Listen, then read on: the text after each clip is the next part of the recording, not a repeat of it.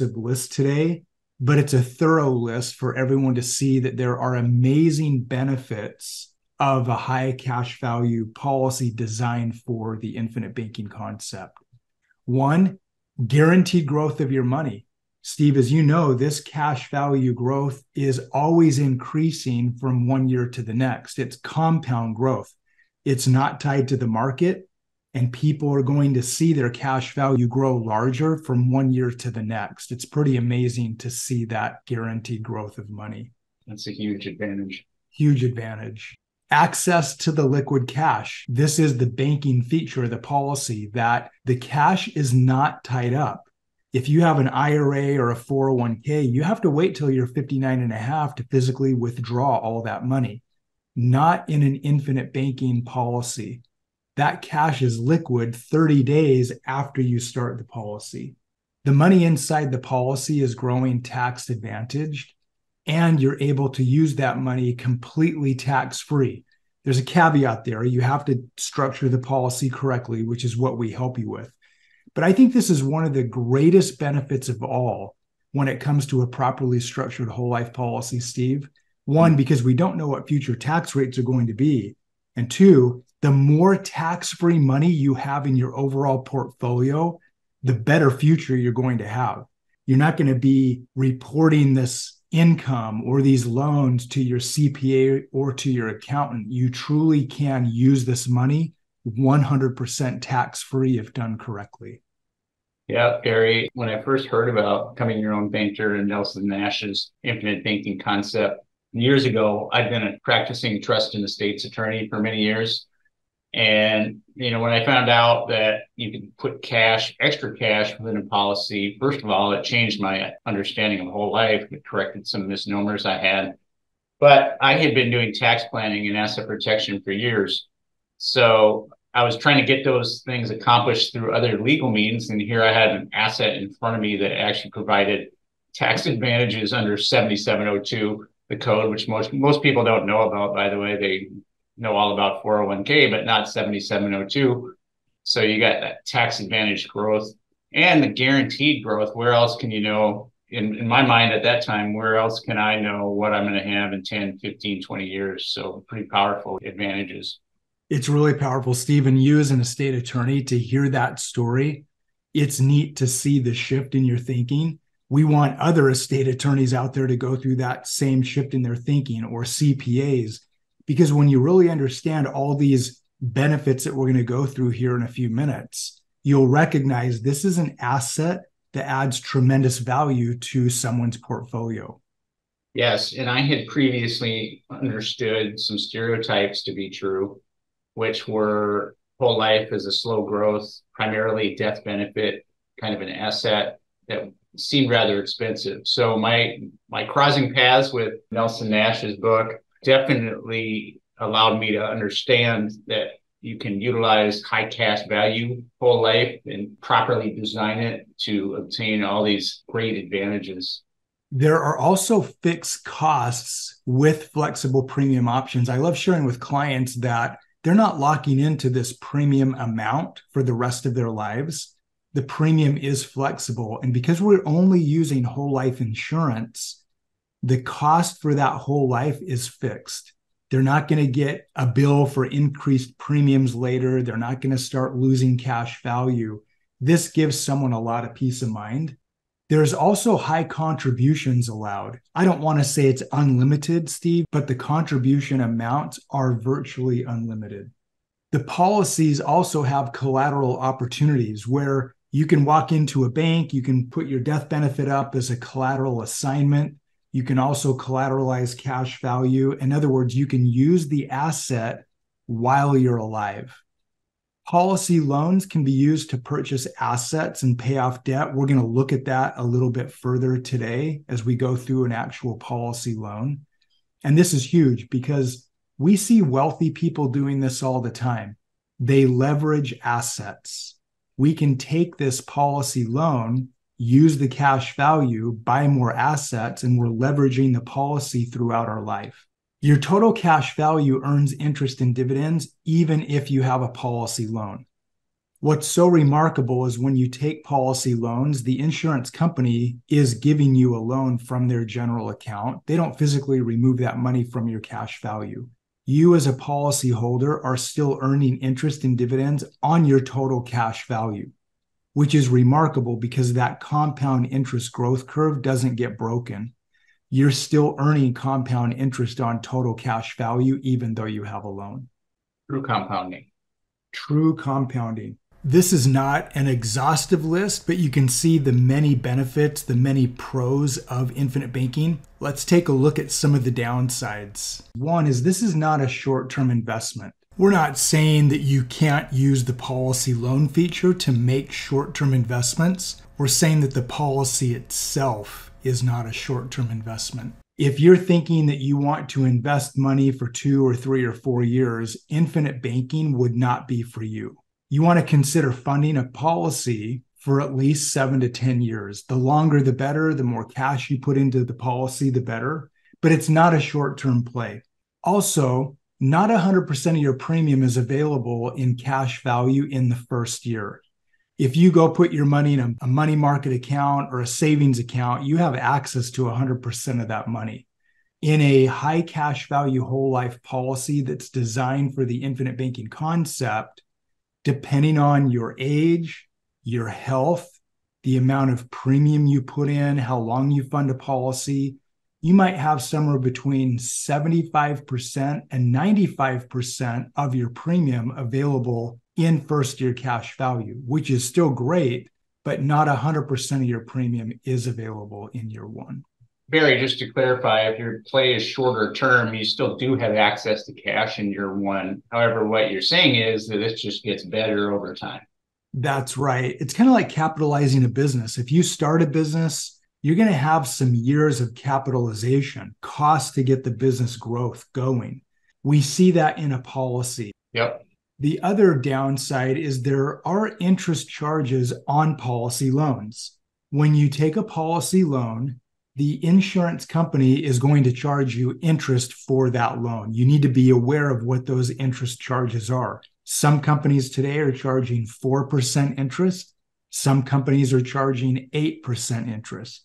So before you purchase a high cash value whole life policy for the purposes of infinite banking, you should understand what are the interest rate charges that are going to be associated with policy loans. Lastly, the policy does require an application and qualification. You have to qualify for the policy. Not everyone out there, Steve, is going to end up qualifying for a policy depending on health or age. However, people that can't get qualified can own a policy on a spouse, they can own policies on kids or grandchildren. So we're going to work very hard to help you get a policy if you specifically aren't able to get qualified. Mm-hmm. The pros of infinite banking far outweigh the cons of infinite banking. And if you compare this to other types of retirement accounts, a properly structured whole life policy and the infinite banking concept, in most cases, are far better. We've talked about a lot of these benefits here, but the comparison I'm making is to a 529 plan, a 401k, or a 403b, an IRA, a Roth IRA, in comparison to a cash value whole life insurance policy that's properly structured for infinite banking. And look at all those red X's. Those red X's are showing us you're not getting these benefits if you have a traditional retirement plan, but you are getting all these benefits if you have a high cash value whole life policy. Yeah, and I especially love tax free income in retirement. So that's number four down. And it's such a powerful thing when you see that illustrated and how that works to help people have extra liquidity and extra income in retirement. Yeah, tax free income is a huge part of that it's one more advantage of having a properly structured policy. Yep. I think the living benefits are also huge. Today's marketplace with a lot of concerns about future health care for people living longer. Yeah, it is called life insurance, not death insurance. So we do teach people about the living benefits of the policy. Having access to that liquid cash for policy loans, as we're going to get into today, is one of those living benefits. Mm. Well, Steve, with all the pros and cons we've talked about, someone might be asking, well, what is infinite banking? You're telling us the pros and cons, but what is it actually? It's a uniquely designed, properly structured whole life, high cash value insurance policy. And it must be with a participating, dividend paying mutual life insurance company. The mutual is key because mutual insurance companies pay dividends, and those dividends come back to us as policyholders.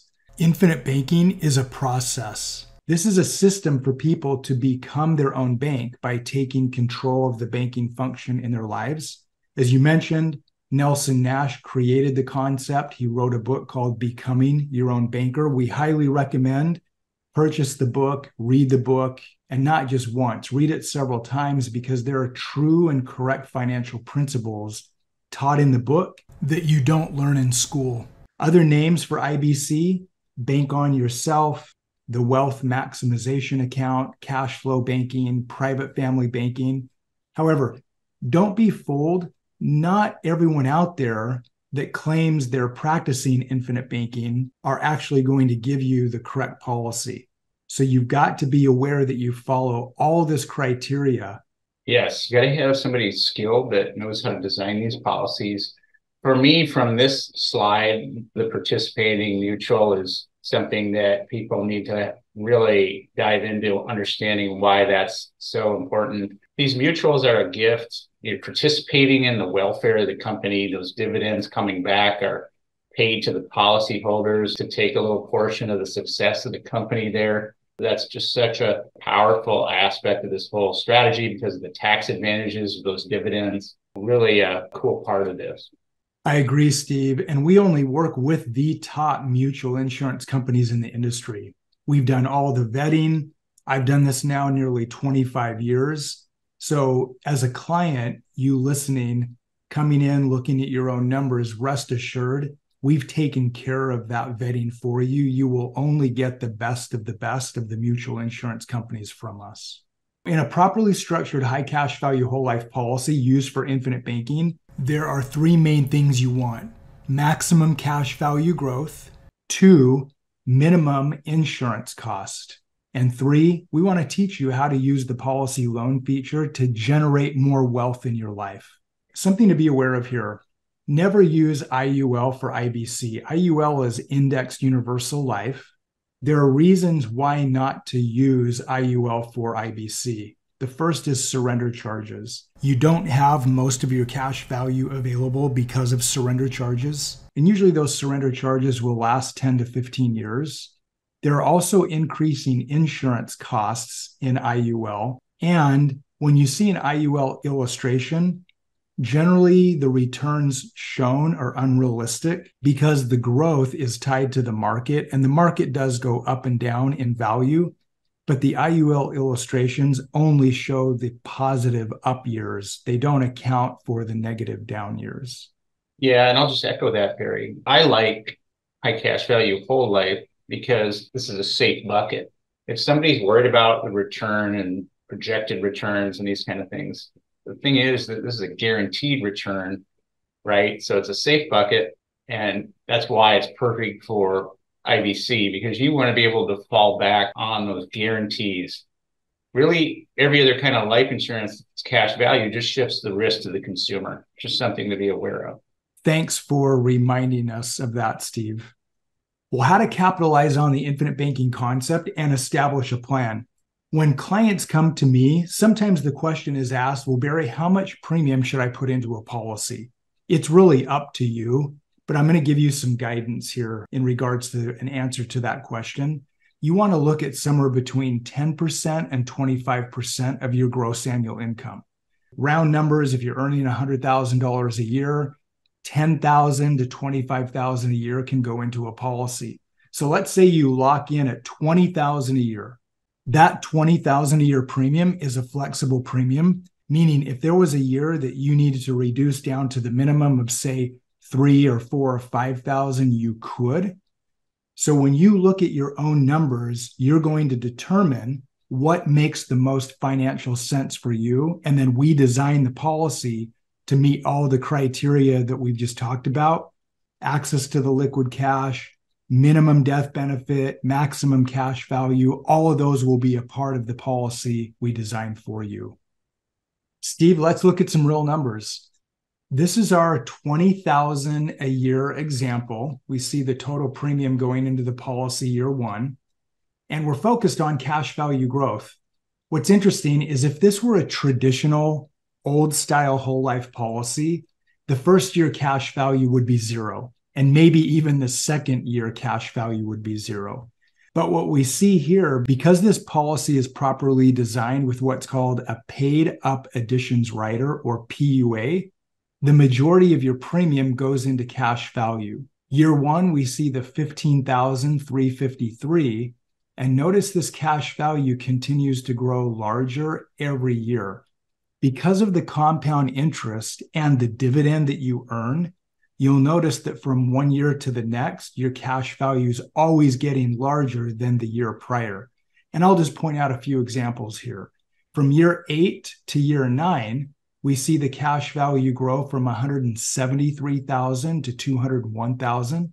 That's a $28,000 gain. You put in 20,000. Year mm-hmm. 14 to year 15, the cash value grows from 367 to 406 Steve, that's a $38,000 gain, almost doubling the amount of money in growth based on what you put in with that 20,000 premium. So this is how it gets better over time. Because of the compounding. That mm. compound growth is huge. And think about it like this. If you have a stock or a mutual fund or an ETF, you'll hear often financial advisors talk about compound interest you can't have compound interest growth in a volatile stock market investment. It doesn't work because you can lose gains, you can lose dividends.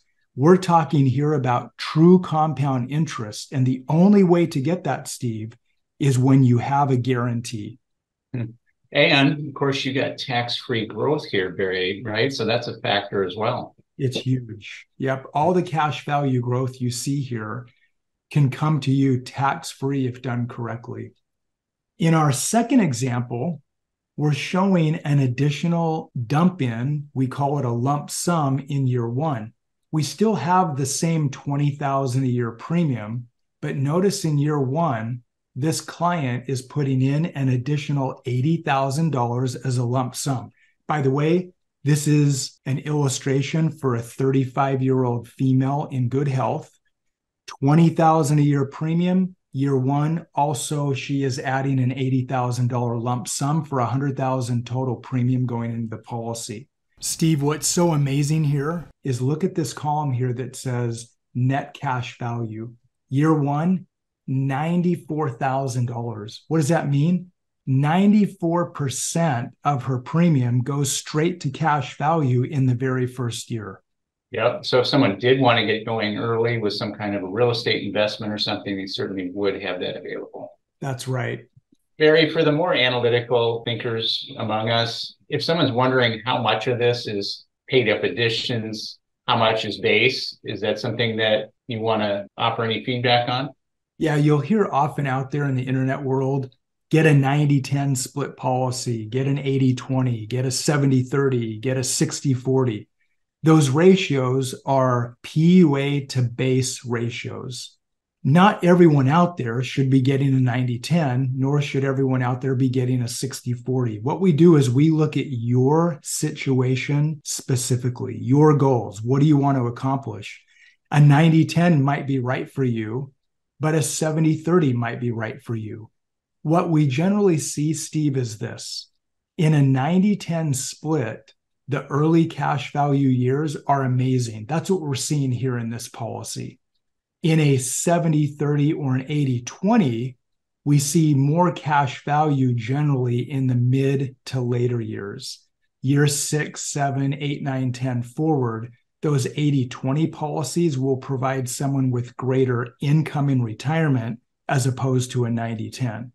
So when I meet with a client, Steve, I'm usually showing them multiple illustrations so they can see the difference. And then we want to definitely go with what the client's goals are and move forward with the policy that best meets those goals. Awesome. I think if you go less than 90 10, then you have a little more room if wanting to add later, correct? Potentially, with these policies, you get a growing death benefit. And because of the death benefit grows, the MEC limit grows. So there is still opportunity to put in a little bit more cash. But if someone comes in and says, Hey, Barry, you know, I want to put in $200,000, they wouldn't be able to get that into this policy if they started it this way. Mm. Once a policy is in force, the MEC limit is what you put in year one, and then it grows slightly, but it wouldn't grow from 100,000 to 200,000 the next year. In those cases where clients want to put a lot more money in, we simply have them start a second policy. I've done that myself. I believe you've done that. Yep. A lot of my clients have started second policies. You yep. can own multiple policies. Yeah, but also if people are reading Nelson's book, when he's talking about paying extra in in terms of paying more than you're really being charged for interest and things like that, I think he's getting at the point, right? Determining how much you can put into your policy within the MEC limits. He is. And check this out. If you put $100,000 into this policy, this particular company allows you to continue to put in 100,000 years 1 through 7. So you could roll around to year 2 and even though we're showing 20,000 for the premium, you could throw in an additional 80,000. Oh, interesting. That's a lot of flexibility. A lot of flexibility. And the minimum premium on this policy is only about 5,000 a year.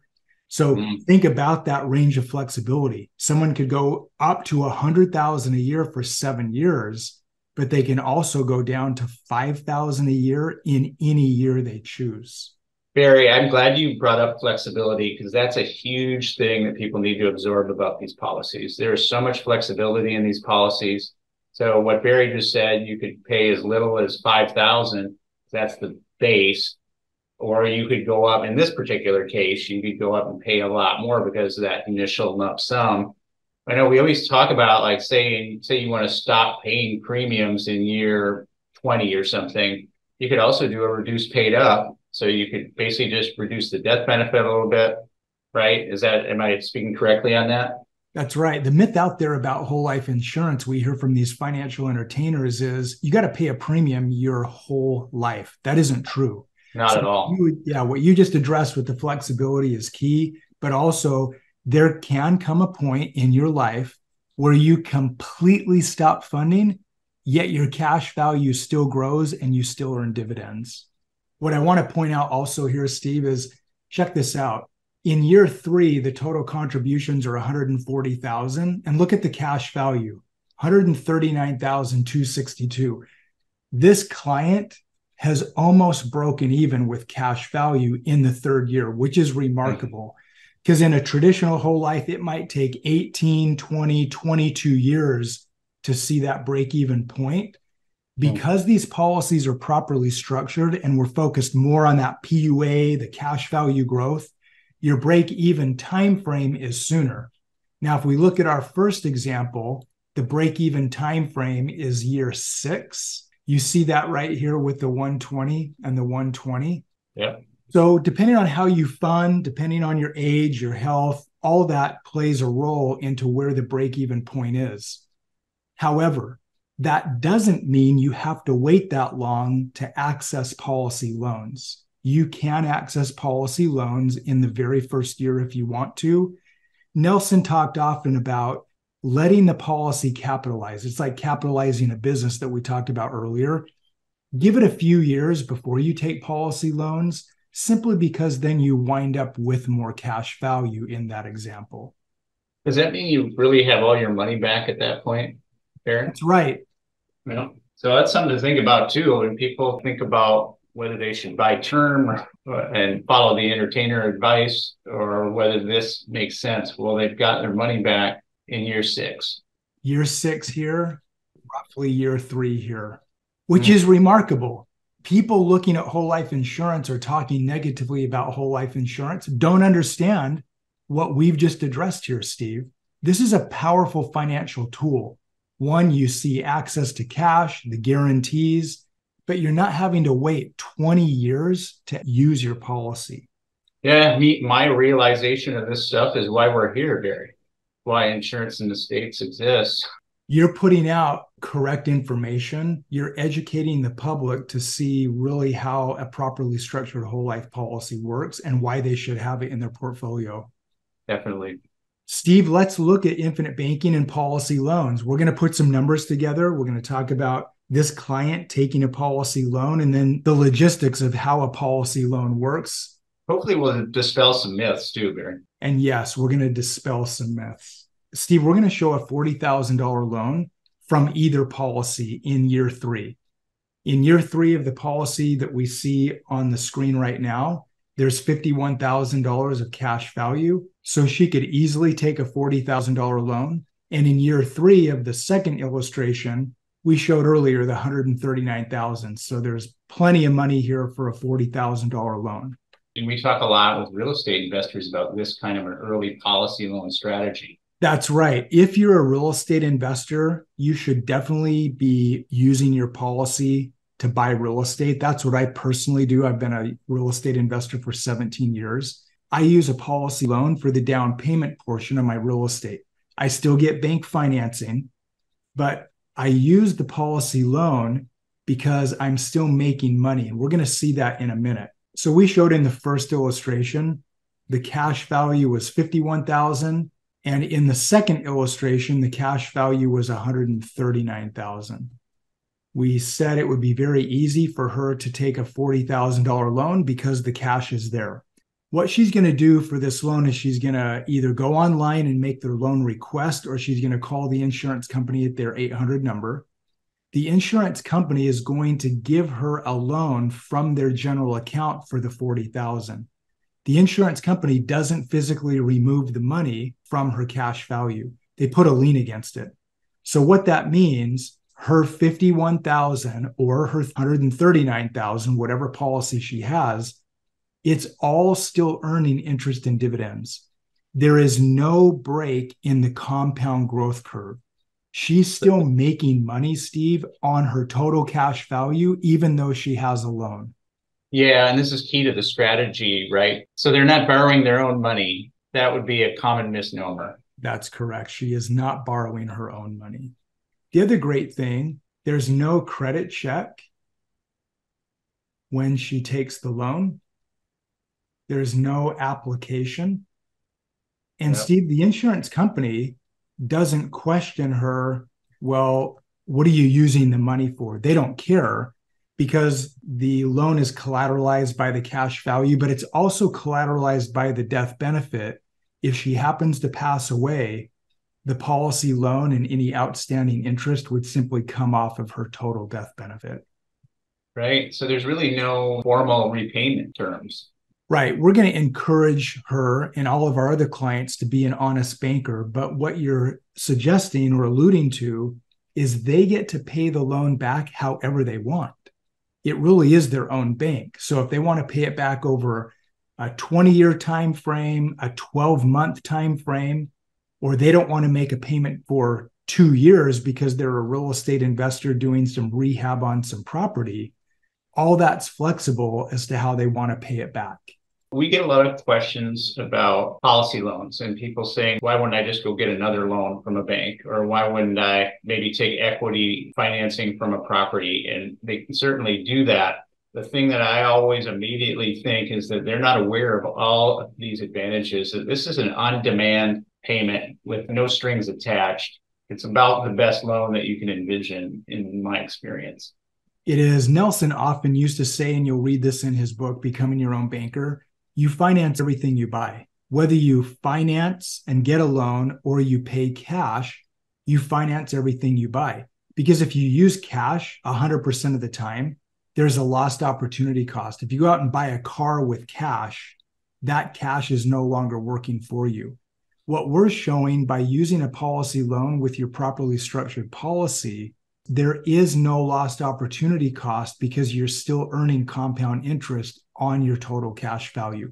That's the point. That's the power of what we want to show here. And we're going to look at the real numbers. I want you to imagine that this straight line represents the dollar amount of zero. When you take a policy loan, you're going to pay the loan back over time and get back to zero once the loan is paid off. We're going to use a 5% interest rate.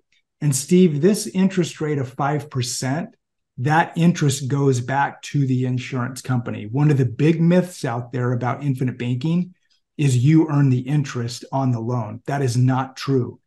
You pay the 5% interest back to the insurance company, but the way you're still making money is on your total cash value. You still make money, you still earn interest and dividends on your total cash value, but the interest does, in fact, go to the insurance company. Yeah, and I love an example you did recently because you laid out the fact that even if the policy cash return was around 4.8% and the loan cost was 5 that the policy would still come out ahead because of the compounding effect. Yeah, and we're going to use those same numbers today because that's about what the rate of return is internally on both of these policies. 4.8% hmm. is a net tax free return. What that means is if you compared that to a stock market investment, someone would have to earn between 8 and 10% in that market based account to net a 4.8% tax free return. So I say 4.8%, that's remarkable in a policy that you don't have to worry about and you're going to be making money every year with no stock market volatility. Absolutely. Steve, I have the loan analysis calculator here. We're going to show her paying back this $40,000 loan over a 4-year time frame. Again, she can decide how she wants to pay it back.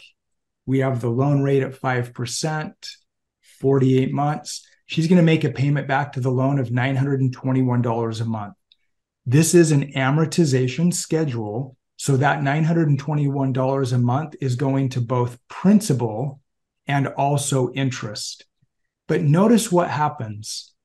Because she's making a payment back every month, the balance of the loan is going down, which means this column I've just highlighted, the mm-hmm. interest she's being charged is also going down. Yes, and that's another subtle thing that people aren't aware of. If you go get a bank loan and you're paying it off, you're certainly not going to get have additional capital there that then you could utilize, right? So not only is the amount of interest going down, but also you have additional capital if you needed it.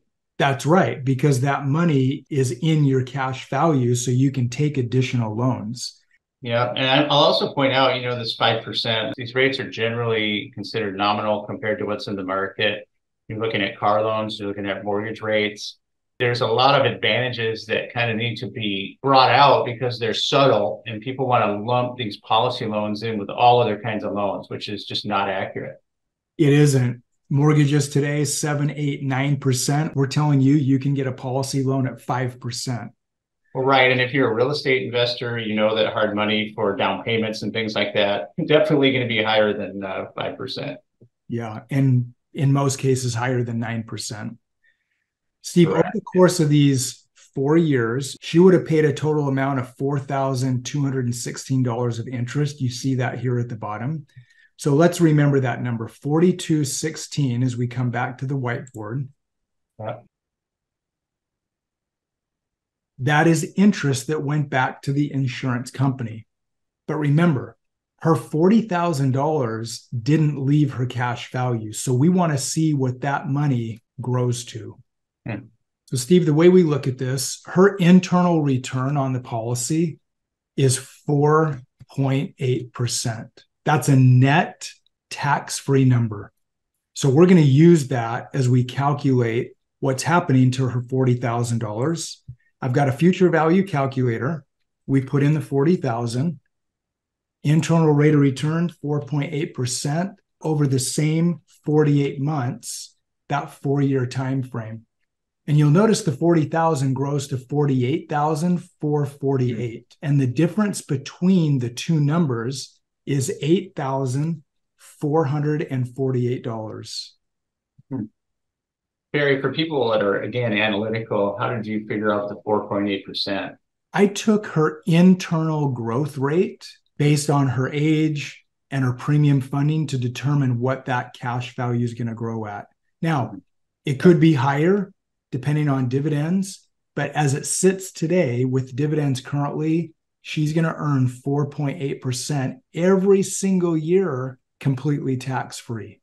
Well, that's impressive because what you're saying is the 5% loan rate cost 4216. 4216. Yet what did she earn on her cash value? 8,048. Yeah, so she comes out ahead. We're going to say a positive $4,200. Hmm. So by her taking a loan, Steve, she still makes money. She still comes out ahead and she's able to use the policy to her advantage.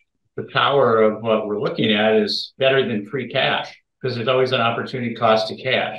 That's right. As Nelson said, you finance everything you buy.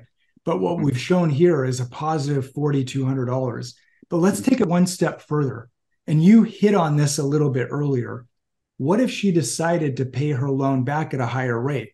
Let's say she gets a quote from a bank for a car or a business loan or a hard money loan or a mortgage, and they're saying, well, we're going to charge you 7% interest. What would happen if she chose to pay her loan back at 7% and have that extra 2% go back into her policy cash value? Right. This is stuff that Nelson talked about a lot in his book. We're coming back to the loan analysis calculator. And this option right here that says alternate payback, we're going to bump the 5% to 7%. It only changes the payment by $37 a month. You would think more, but this 2% increase now goes to her cash value. So she's able to take this extra money that she would have paid a third party financial institution, Steve. This is what we want to be clear on. This extra 2% is now going back into her policy cash value, not to a bank, not to a credit union, not to a hard money lender. So, although it's $1,700, imagine her doing this throughout her life as she continues to use the infinite banking feature, of the policy. All this extra interest can go back to her she capitalizes on the interest rather than paying that to a third party financial institution. Right. Not only is she being an honest banker, she's actually storing additional cash in her bank, which then leads to more cash value growth down the road. Exactly. She's creating more wealth along the way for herself rather than creating more wealth for the banks or those financial institutions. This is such a powerful strategy for anybody, but particularly for investors of some kind. It's such a great way to have momentum, to gain momentum. Agreed.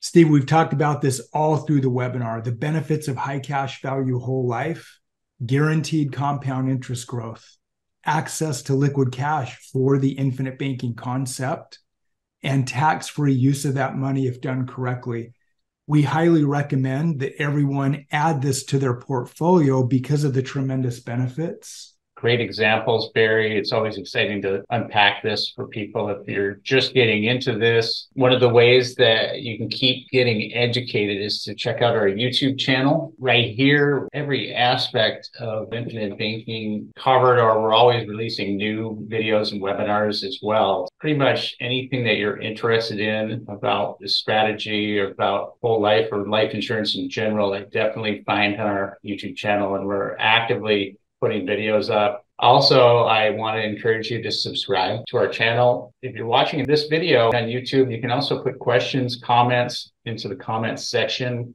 You can also go to our website at insuranceandestates.com under resources, also articles on pretty much anything that you want to learn about. And of course, I want to encourage you to look at your own numbers. Barry's calendar link is going to be wherever this video is. You can schedule a one to one and look at how this will impact your wealth building scenario. So definitely encourage that. Appreciate it, Barry. Thank you, Steve. What a great webinar. I'm excited for people to understand more thoroughly what infinite banking is and how they can capitalize on a properly structured whole life policy for their own portfolio. Awesome. Look at your own numbers. Click the link to learn more, schedule a one on one. Thanks for watching.